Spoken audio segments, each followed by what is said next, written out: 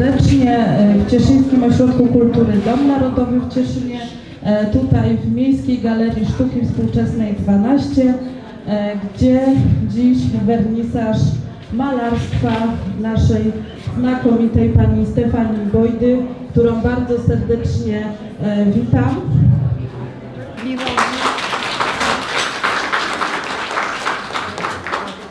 Panią Stefanię chyba za bardzo nie trzeba przedstawiać, bo chyba ją wszyscy cieszyniacy i nie tylko znają.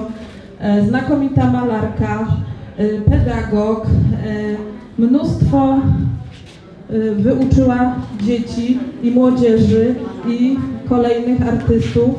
E, Pani Stefania dzisiaj prezentuje starsze prace, ale są też nowe, prawda, które e, tutaj można w tej sali 23. tak, 23 rok, czyli najnowsze. E, wszystkie związane z przyrodą, e, z kwiatami, z naturą i to, co Pani Stefania najbardziej lubi i kocha. Ja już oddam głos tutaj naszej Pani Stefanii, która na pewno e, opowie Państwu o swojej twórczości i o tym, co dzisiaj tutaj prezentuje.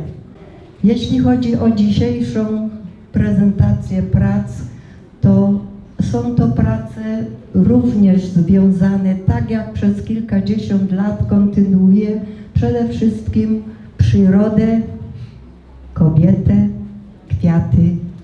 I kłaniam się wszystkim, tak jak tutaj jesteście, dużym bukietem właśnie naszych cieszyńskich magnolii, które są znane nie tylko u nas w Cieszynie, ale przede wszystkim w całej Polsce, gdzie na wiosnę przewijają się grupy, które zwiedzają nasze ogrody, w których kwitną magnolie.